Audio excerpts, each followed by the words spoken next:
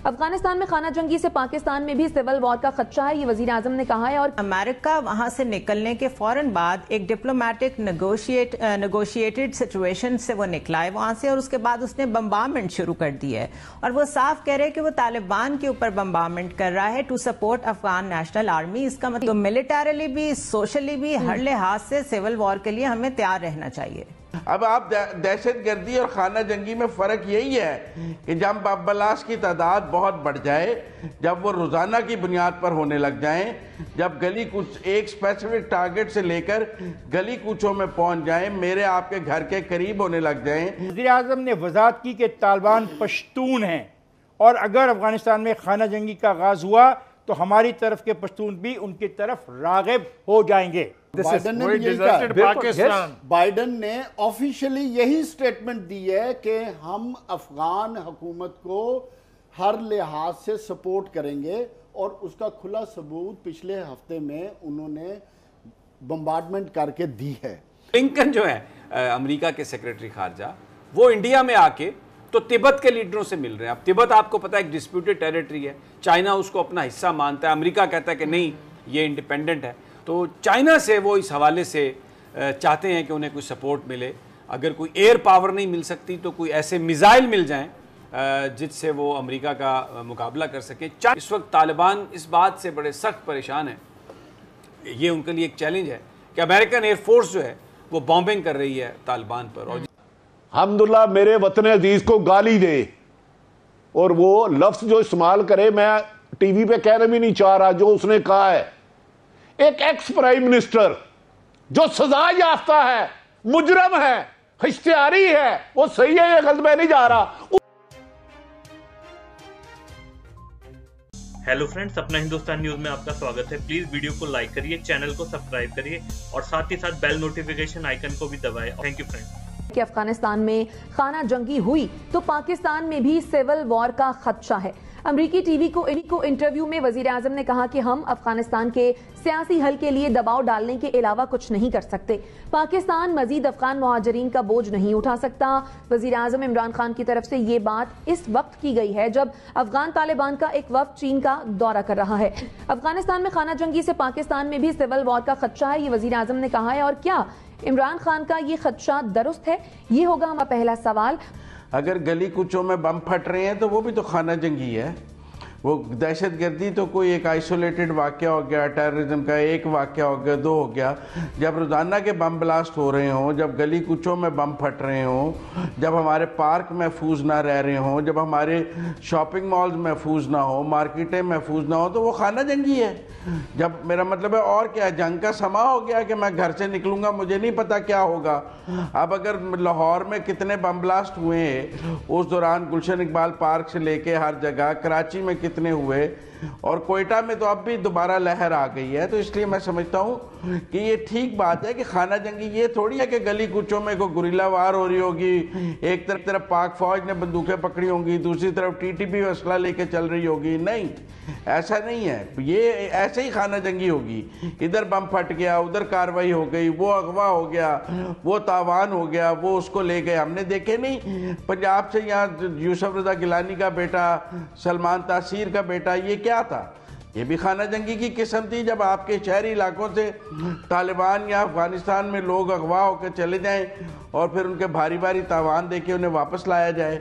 और हमें अफ़गानिस्तान से क्या मिला है? जब रूस के खिलाफ लड़े कोफ और मंशियात मिली 9/11 के बाद मिले, लड़े तो बम ब्लास्ट मिले। अब फिर हम बेवजह कह रहे हैं कि जी वो तालिबान होगा तो ये होगा। नतीजा नतीजा वही होगा जो रूस के साथ हुआ और 9/11 के बाद हुआ।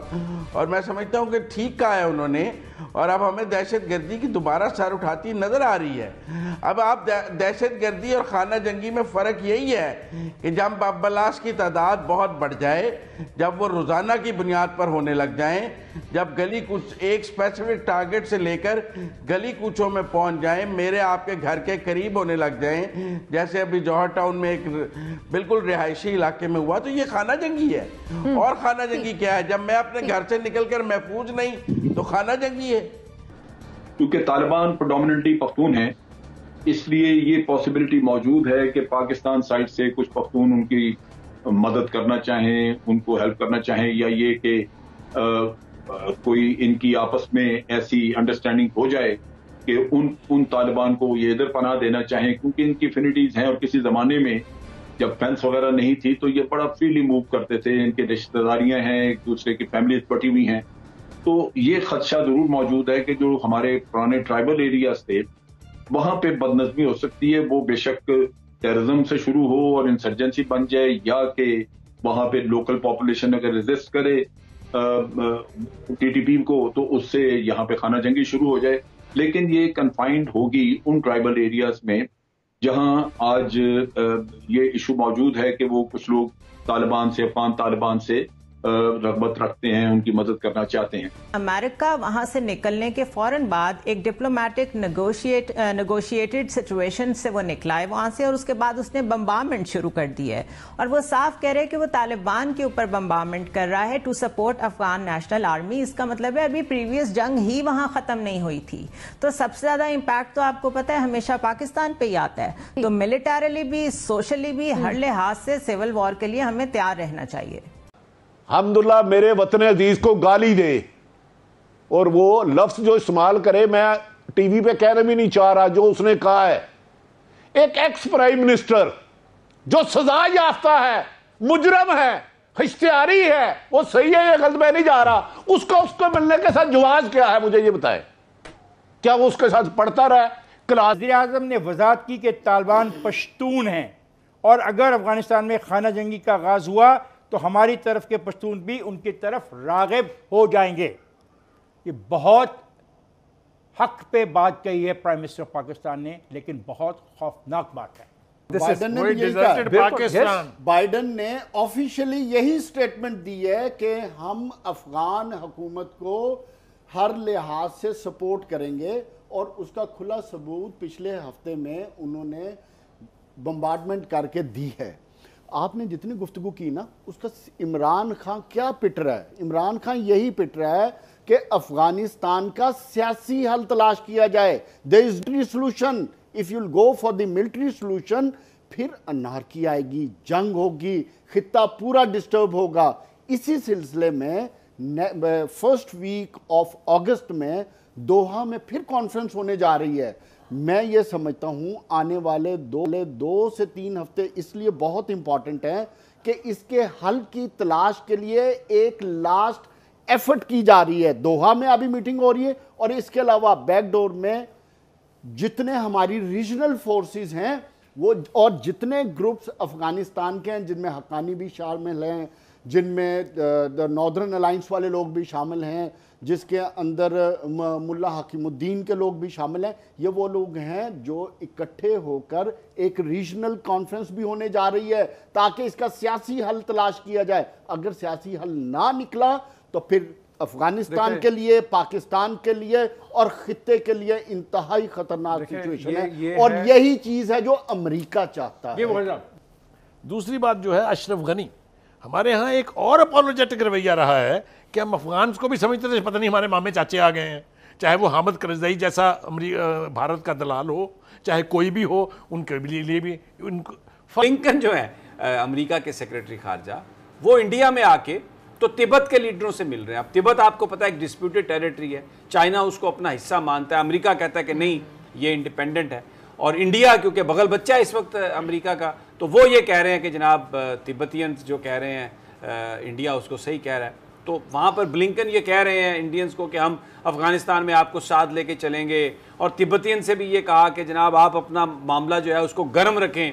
और फिर दूसरी, क्योंकि इस वक्त जो बहुत सारी जो इंतहा पसंद तंजीमें हैं जिनको बाज़ाहिर ये कहा जाता है कि वो मुस्लिम तंजीमें हैं, वो सारी की सारी इंडिया ने एक सेंडिकेट बना के वो उनको इस्तेमाल कर रहा है ताकि एक तो इस्लाम का नाम बदनाम हो दूसरा पाकिस्तान का नाम बदनाम हो और वो सारे के सारे जो ग्रुप्स हैं उनके वो इस वक्त भारत ही उसको उनको उस दहशत गर्दी को एक्सपोर्ट कर रहा है क्योंकि सोच उनकी वही आरएसएस वाली है।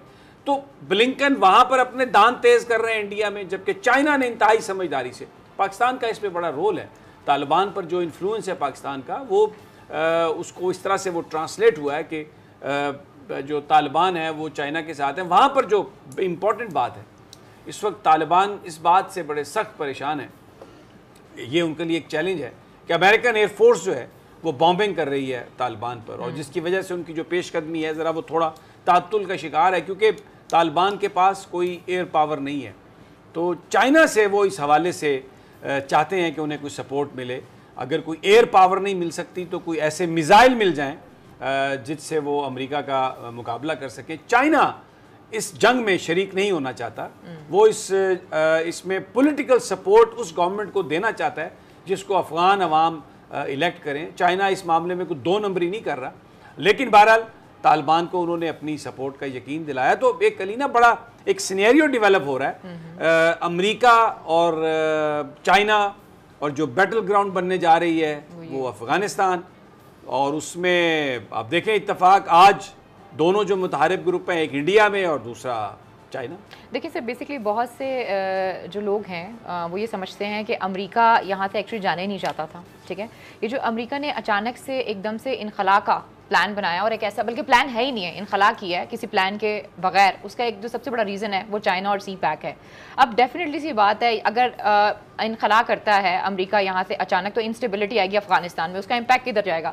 उसका इकोनॉमिक इम्पैक्ट होगा पूरे रीजन के ऊपर। उसका हम अफ़गानिस्तान के बिल्कुल साथ हैं हम साया हमारा मुल्क है और बहुत से और भी हमारे हवाले से सवाल किए जाते हैं कि तालिबान के साथ मुजाकर और सारी चीज़ें कह रही हैं इंस्टेबिलिटी होगी सी पैक नहीं हाँ, चल उसका इम्पैक्ट हम पर आएगा। तो मेरे ख्याल में चाइना ने जिस तरीके से तालिबान को लेकर चल रहा है पाकिस्तान का एक अहम किरदार है इसके ऊपर और चाइना जिस तरीके से तालिबान को लेकर चल रहा है बहुत सी खबरें ऐसी भी आ रही थी कि अगर खुदा न खासा कोई इंस्टेबिलिटी होती है अफ़गानिस्तान में तो चाइना जो है वो अपनी फोर्सेज भी भेज सकता है। तो इस हवाले से अगर चाइना ये चीज़ें कर रहा है और उसको अंदाज़ा है कि आने वाले दिनों में अमेरिका या कोई भी जो है वो इस तरह का इम्पैक्ट दे सकता है यानी कि इंस्टेबिलिटी ला सकता है अफ़गानिस्तान में तो आई थिंक ये बहुत ज़रूरी है क्योंकि अकवा मुतहदा की जो भी करारदादे मौजूद हैं उसके हिसाब से अगर कहीं पर भी कोई भी इंस्टेबिलिटी होगी दोबारा से जो है वो बमिंग की जा सकती है लेकिन हमारी जो बहुत से और भी जो खबरें आ रही हैं वो ये आ रही हैं जो फ़िज़ाई हदूद के बारे में या इन चीज़ों के बारे में जो हमारे चाइना के साथ हमारे ताल्लुक को ख़राब कर सकती है हमारे अफ़गानिस्तान के साथ ताल्लुक को ख़राब कर सकती है। मेरे ख्याल में उस हवाले की चीज़ों का क्लियर होना बहुत अच्छा समी से भी एक जो सवाल मेरे जेल में उठ रहा है ये पिछले दिन अमेरिका ने बमबारी की है कंधार पे हम्म। तो उन्होंने कोई ना कोई तो फ़जाई हदूद इस्तेमाल की होगी। इसके बारे में कोई खामोशी है हर तरफ़? हो वो किसी न किसी रास्ते से गुजर के आए होंगे वैसे? ये तो बड़ा एक मिलियन डॉलर क्वेश्चन है और शायद इसीलिए देखें मैं आपको बताऊँ।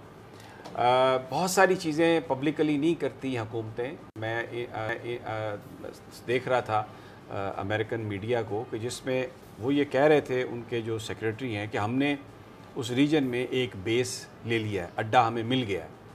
अड्डा कहाँ पे मिला है उस हवाले से वो नहीं बता रहे। फिर कहीं पर थोड़ी सी ये खबर आई कि यूएई में वो अड्डा मिल गया अच्छा अब अगर हम देखते हैं कि यूएई से वो जहाज़ उड़े हों या उनके जो कैरियर हैं समंदर में वहाँ से वो जहाज़ उड़े हों तो अफ़गानिस्तान पहुँचने के लिए ख़ास तौर पर कंधार के नज़दीक जो बॉम्बिंग हुई है वो आपको जो टेरिटरी है वो पाकिस्तान की फ़जाई हदूद के अलावा मुझे कोई और जगह समझ नहीं है ईरान के ऊपर से तो वो गुजर नहीं सकते। जी जी बिल्कुल। तो ये एक सवाल है। अब मैं हम इन इस चीज़ों को हमारी जो हुकूमत है हमारे जो इदारे हैं definitely they are mindful of that और वज़ी अजम बिल्कुल क्लैरिटी के साथ कह चुके हैं कि कोई हम इस्तेमाल नहीं होंगे। तो मुझे लगता है कि ये जो नेशनल सिक्योरिटी एडवाइज़र हमारे और जो D G I S I हैं, ये जो अमेरिका रश किए हैं, ये शायद उस सिचुएशन को समझने के लिए, उसको रोकने के लिए, उससे बचने के लिए कोई बात डेफिनेटली हुई होगी कि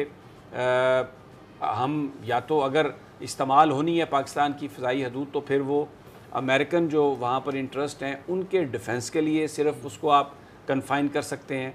अमेरिकी एयर स्ट्राइक से घबराया हुआ तालिबान भाग के चीन पहुँचा है।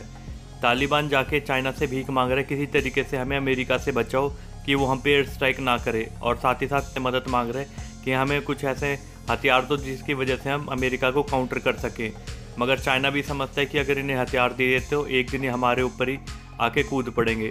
इससे पता चलता है इस समय ता, तालिबान की हालत पतली होती जा रही है। जिस हिसाब से अफगान आर्मी अटैक कर रही है तालिबान के ऊपर तालिबान के पैर उखड़ चुके हैं ज़मीन पे से और साथ ही साथ पाकिस्तान को भी पसीने आ रहे हैं और वो सोच रहे हैं, इस रीजन में अगर ज़्यादा हालत बिगड़े तो सारी सिविल वॉर का खतरा हमारे ऊपर ही आएगा और पाकिस्तान इसे झेल नहीं सकता। इसीलिए इमरान खान ने कल इंटरव्यू दिया अमेरिकन टीवी को, जिसमें वो रोया है, किसी भी तरीके से हमें सिविल वार से बचा लो। और आगे देखते हैं फ्रेंड्स इस पूरे रीजन में क्या हालत चेंज होने वाले हैं। जय हिंद, धन्यवाद।